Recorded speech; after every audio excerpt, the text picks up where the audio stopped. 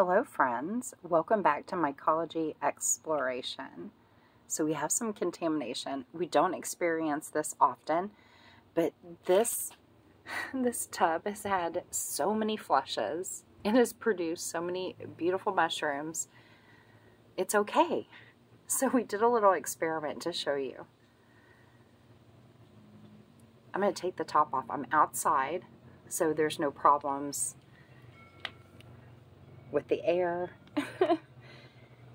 so I recommend if you ever have contamination, come outside. Take it outside. Throw it away. Put it in your garden. So where you see this hole is where I scooped out contamination. It was growing on top. It was green, green and white.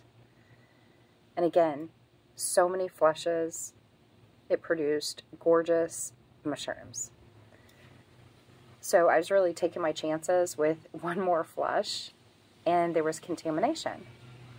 So we did an experiment. I sprayed a spoon with alcohol. I scooped it out.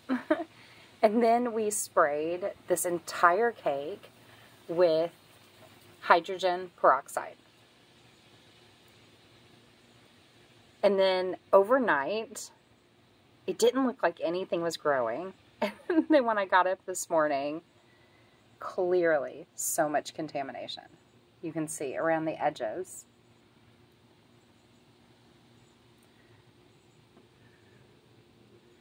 So even though I scooped it out and we sprayed it with hydrogen peroxide, there was still contamination.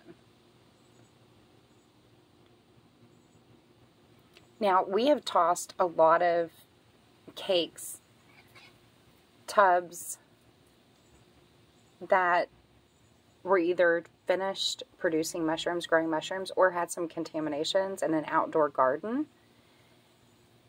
And they continue to grow because nature can deal with contamination. It's when it's indoors, there's really nothing you can do. You got to toss it.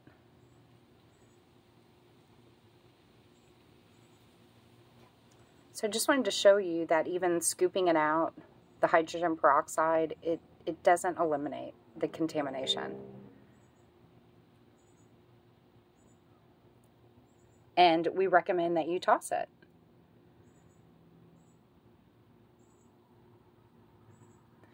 And again, it, it really looked green and white on top, and then I scooped it, and now it's more gray.